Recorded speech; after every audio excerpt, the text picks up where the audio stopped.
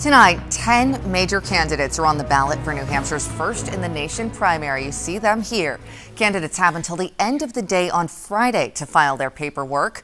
And just within the last hour, News 9 was first to report that the Biden campaign has informed the New Hampshire Democratic Party it will not put the president's name on the primary ballot. It's a move that is not unexpected, but is still a major development in the ongoing fight over first in the nation status.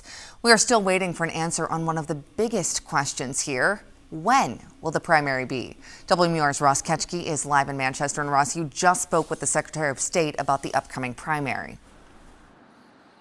Yeah, Monica, no date to circle on the calendar just yet, but New Hampshire Secretary of State David Scanlon says come the filing deadline on Friday, it should be a little bit easier to pinpoint exactly when we can expect that primary to be. He says he's also keeping an eye on a few other states to see exactly when their primaries will be.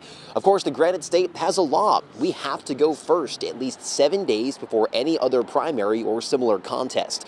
All this comes as the Democratic National Committee decided to change its own calendar, putting South Carolina in the leadoff spot.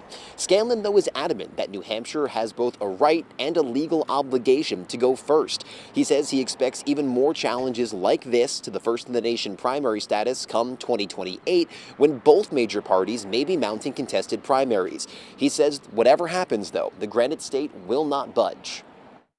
I think they'll continue to pose challenges until they get tired and give up.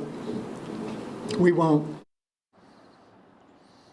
And Scanlon also says New Hampshire continues to be a great choice for the First in the Nation primary, more so almost than anywhere else in the country. He cites our relatively small size and media market, as well as high voter turnout rates, and a relatively low barrier for candidates being able to get their name on that First in the Nation primary ballot. Live in New Hampshire, Ross Ketschke, WMUR News 9.